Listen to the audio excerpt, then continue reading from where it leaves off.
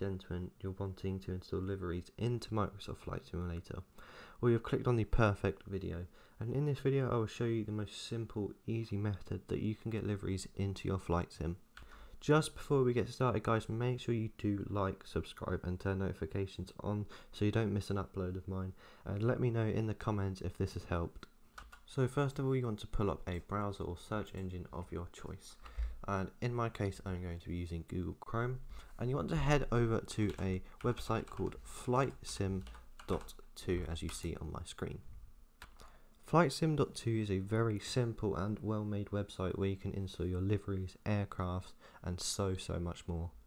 So in our case today I'm going to be installing liveries. So if you want the AirAsia livery for the A320neo you will type it into the search bar at the top and once that has loaded find the aircraft uh, with delivery on.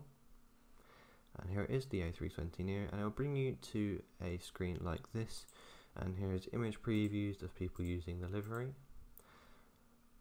So what you want to do you want to go and press the green button that says download. And it will give you a countdown until it starts downloading. So I'll see you then so ladies and gentlemen, once it has started downloading, it will start installing into the bottom left. So once it's finished installing, it will bring up a menu like this with the livery in the folder here. You want to go ahead and find your community folder, which I'll leave a link in the description of this video of where to find it. So as you can see on the left, I have my community folder open with the things that I have previously installed.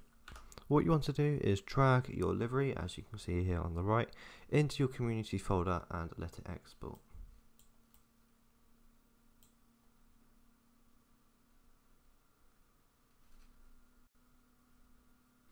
And you are finished, so I'll now go and load up my Microsoft Flight Simulator and show you that the livery is there. So guys, here we are in the sim and let's have a check to see if it has it installed. So let's go to world map and here we are, the Airbus A320neo. And let's have a check if it has installed.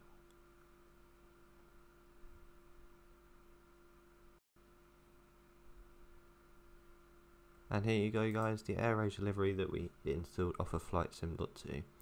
I hope you guys enjoyed the video, make sure you like, subscribe, turn the notification bell on, and I'll catch you guys in the next video. Goodbye.